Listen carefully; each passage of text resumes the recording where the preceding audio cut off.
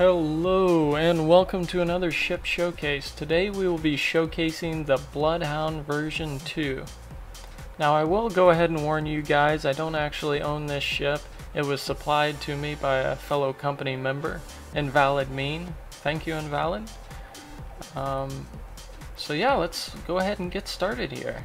I haven't got to use the ship a whole lot. I'm just kind of going off of what I see and the little bit I've flown it around so far. I haven't used it in combat, but we're just going to review it how it is. To start off, I mean, this thing just looks badass. This is a bundle of badassery right here. This puppy comes with 16 laser cannons. The only downside to that is currently, if we go here to the market, um, laser cannon magazines are through the roof uh, in terms of price. So it's very expensive to shoot. I'll pop off a few rounds later, but I'm not going to be shooting a whole bunch. I don't have that kind of money. Over here on the side, we can see that we do have a whole slew of maneuvering thrusters as well as a free, uh, free hardpoint there. Towards the back, we've got a great looking engine design. I believe these are tier 3 thrusters uh, tier 3 triangle thrusters, so yeah, this, this ship's gonna be fast, I can tell you that much. Moving towards the top here, we do have uh, some sort of navigation setup. And towards the front, finally, we have the name of the ship right here on the front. That looks cool, doesn't it? That looks really neat. Something else to note, look at this glass cockpit. Look how many layers of glass there is here. There's a whole slew of glass between you and space. So hopefully that serves as some protection from getting shot. Let's go ahead and take a seat. Now right up front here, again we have the navigation. Doesn't look like it's working as of now got some pretty typical displays. And then here we have our propellant time. Over here we have our warp class and radiation rate. We have a transponder button and a charge gun button.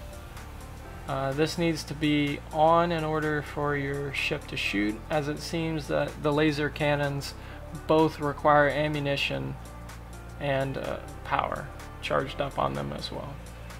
We have our fuel gauge. It's getting mighty low. We have our crosshair. Battle button. I have absolutely no clue what this does. Hopefully someone can comment down in the description to help out with that. I have no idea what that does. We have the hatch button here, propellant, durability errors, and a rangefinder distance. Now I believe this aim button has to do something with that rangefinder distance. Um, but from the little bit I've done testing wise, I haven't figured out what that does either. Of course, we've got our cruise button. Now here's an interesting part about the ship that you might miss actually. There are actually seats in the back. Now these seats have some additional information on them. You know, we've got our fuel, our warp class again, durability errors, our ammo, our propellant time, as well as another hatch button, a little window to look out of on either side. And here's the best part about the back seat. This right here. Point of view. You're the Bob who can't drive, so you have to ride in the back. That's funny. I'm glad he put this in here. I really got a kick out of that when I found it. We just hop out here. Uh, one thing I will note that I don't really like about this ship is I understand the the creator was probably going for a small form. But this is just incredibly cramped right here. I mean, you're you're out here fighting, and when you want to look at, you know, your displays over here, you you have to look so far down. Now, granted, you will have the hatch down and your crosshair on beforehand, and a lot of your useful information is stored up here. But I don't know, it just feels kind of cramped. It's not a deal breaker for me. Um, just something I'm not a big fan of. Of course here you've got this bolt right in front of your face that can hopefully help you aim a little bit. So let's go ahead and try this ship out flying wise. Hopefully we don't run out of gas. If we go ahead and look back at Origin 2, we can see that this thing absolutely hauls balls. Real quick ship. Its yaw is good. The pitch is good. And the roll is good. They all seem to be pretty linear, which is good. Um, one thing I like about this is when you're flying combat ships, or coming from my PvP experience anyways, you don't want a ship that is jerking around a whole lot and just spinning circles when you try to move. And this ship doesn't do that at all. It feels very, very smooth. I like it.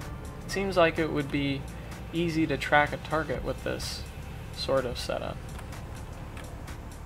So let's go ahead and pop off a few shots here and feel the, the fury of the laser cannons. Now I know some of those magazines back there are empty so we're not going to see all of the laser cannons running. But we've got a handful that do. Look at that. That is so cool. That is really neat. I like the laser cannons. I imagine they probably do a whole lot of damage. It's certainly got to be better than the auto cannons, which are pretty much standard this point in open alpha.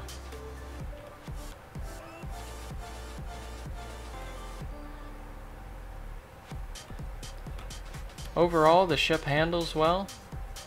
It looks pretty. Uh, it's got two seats in the back in case you want to have uh, some friends along, although it is cramped. Hopefully uh, none of them go to puke, because as the pilot you're most certainly going to be in the splash zone with all the uh, swirling around you're going to be doing. Just a, a really clean design. Now it does come in at a really high price point. Um, and with that high price point, I can't recommend it as a good PvP ship right now. And the only reason for that is this almost seems a little bit luxury in my book. It seems like you could downgrade just a little bit in terms of price and you could still get a good ship. I feel that there are quite a bit of luxury features on this ship that aren't necessary. Do you really need 16 laser cannons to take down a ship? Probably not. Probably not. You would probably be okay with four. But this thing doesn't just have four, it's got 16 of them because it's nuts. so yeah, a really cool ship. I'm glad I got to, to go ahead and showcase it. Thank you guys so much for watching. If you liked the video, give it a thumbs up. And finally, if you would like to go out and have some fun times with our company, I'll leave the link in the description below. We do do fleets um, pretty often, just about every other day or every day. Um, and those fleets consist of both mining and PvP fleets. If you guys have any videos you would like to see me make, whether they be tutorials or more ship showcases, go ahead and leave a comment below letting me know. I'll, I most certainly read every comment and hopefully that can guide me towards making videos you guys want to see. Thank you guys so much for watching. I'll catch you next time.